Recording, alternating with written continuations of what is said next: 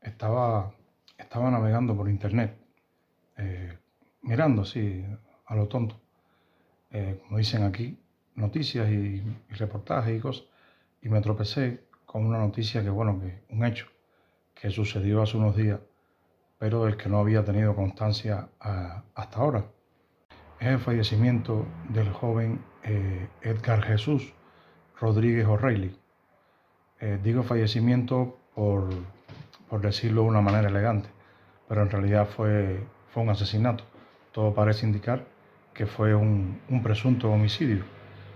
Eh, este muchacho de 19 años, un atleta en, la flor de la vida, que estaba estudiando en la I de Mártires de Barbados y del que parece ser que no había ninguna nota negativa, porque en esta vida sabes que alguien vale la pena cuando los que hablan de ti son los demás. Y si encima hablan bien, como es el caso de este muchacho, pues es bastante triste la partida de, alguien, de alguien como Edgar. Parece ser que todo, eh, saben cómo son las cosas en Cuba, que además de que los medios independientes puedan informar, es muy difícil eh, armar una noticia con coherencia porque no hay, no hay una manera organizada de acceder a, los sucesos, ¿no? Entonces, bueno, yo he ido mirando en, en Cibercuba, en, en 14 y medio y en otras publicaciones, y en principio se pensaba que este muchacho, en paz descanse, Edgar, eh, había sido asesinado en Guanabo. Luego se comprobó que no, que había sido en una fiesta en el Náutico, en playa, en la que parece ser que era una fiesta normal en la que se colaron personas de otro barrio, creo que fue del barrio Romerillo, lo confirmaré ahora, y que eh, empezó una bronca tumultuaria, una riña tumultuaria. Eh, estas personas, parece ser que estos que llegaron, empezaron a, robar teléfonos y carteras. Y claro, a formarse la riña tumultuaria, algunos de ellos empezaron a apuñalar indiscriminadamente según testimonio de una fuente que no quiere desvelar su nombre, empezaron a apuñalar indiscriminadamente a todo el mundo. Y en esta situación se vio, se vio atrapado Edgar.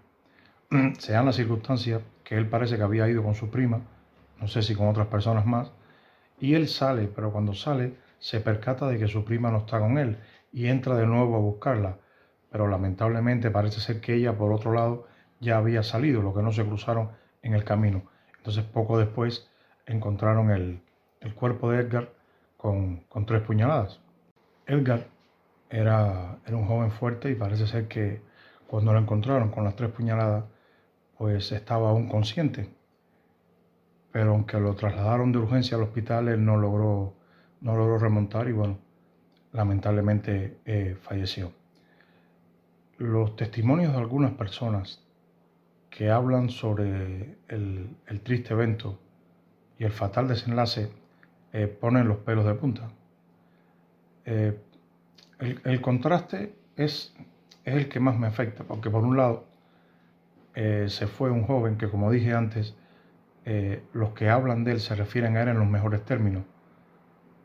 Hablando en buen cubano, el tipo no estaba en nada, estaba en lo suyo, 19 años, muy buen deportista, estaba, estaba estudiando para entrenador, creo, y era un tipo que no, era problemático. De hecho, una pariente suyo añade que no, andaba con antisociales, no andaba con nada. Era un tipo normal. Él estaba con, su vida. 19 años tranquilo, toda la vida por delante.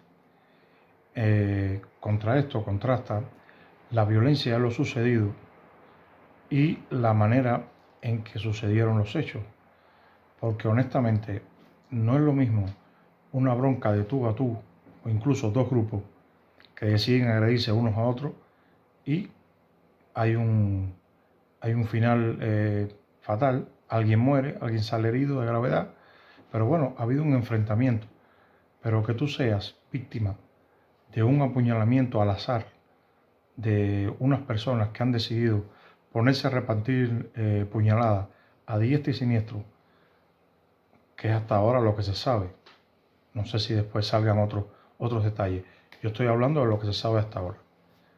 Edgar Jesús fue eh, víctima de un apuñalamiento indiscriminado por personas que iniciaron una, bronca tumultuaria. Esto es inquietante, pero le voy a leer a continuación algunas cosas que dicen eh, personas refiriéndose a este hecho y ustedes verán que si, lo, si el fallecimiento de este joven es preocupante, lo otro es aterrador.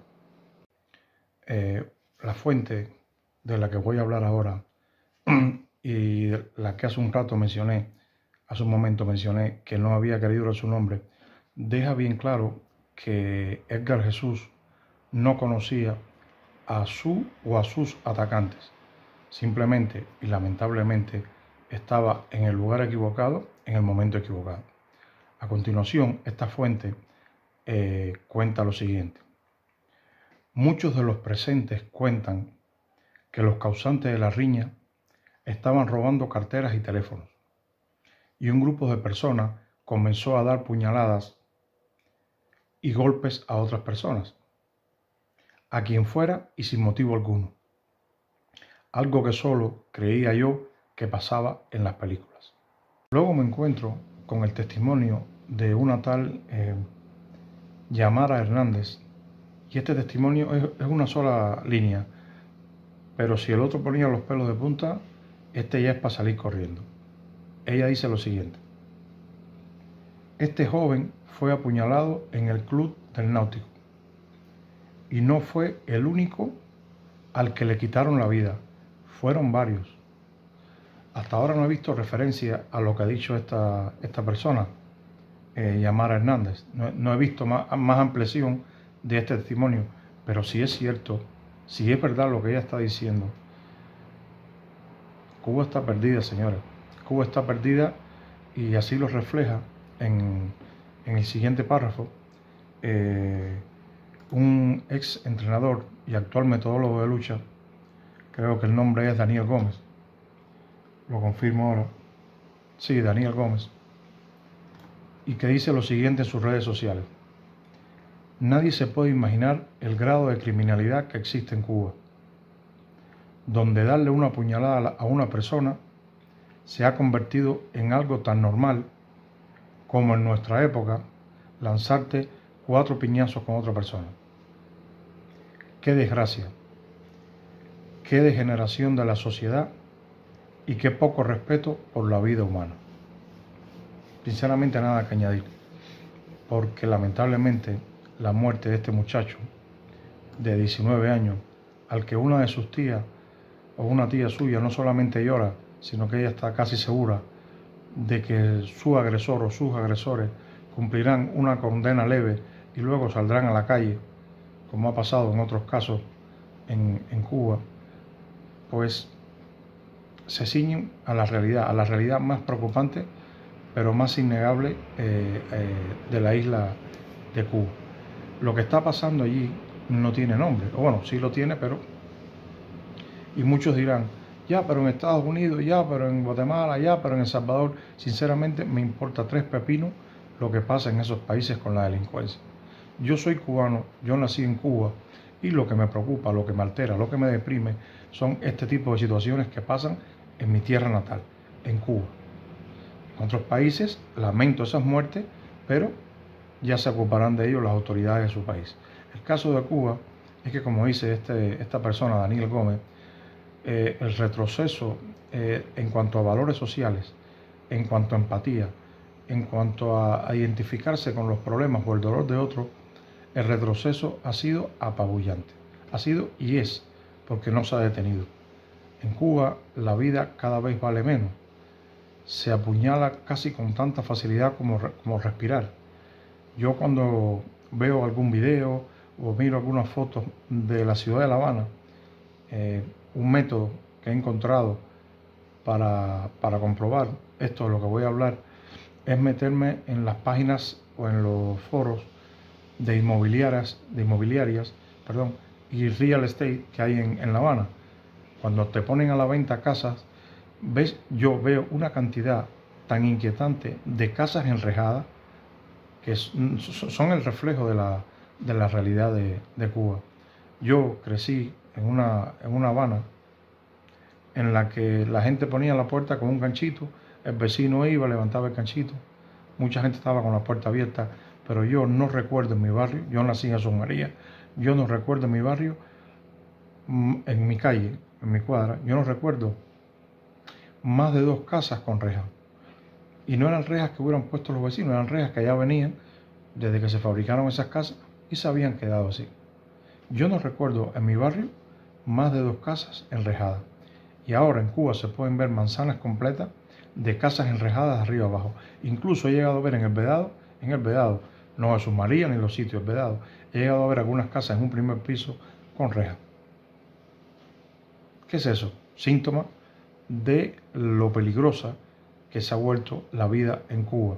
Evidentemente, el ciudadano no puede confiar en absoluto en que la gestión de la policía sirva ni para prevenir ni para castigar a los culpables.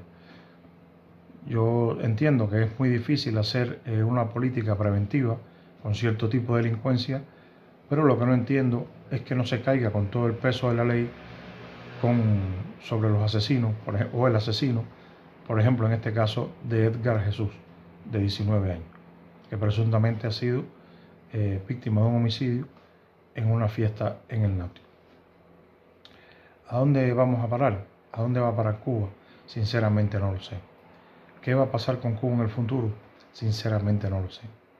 Pero lo que sí asusta, lo que sí asusta, lo que sí aterra, lo que sí dan ganas de salir corriendo, es el conocer que hoy le tocó, lamentablemente, a Edgar Jesús, a, a su familia, a sus allegados y a todo aquel que lo quería, lo apreciaba y lo respetaba. Pero mañana, mañana puede ser cualquiera.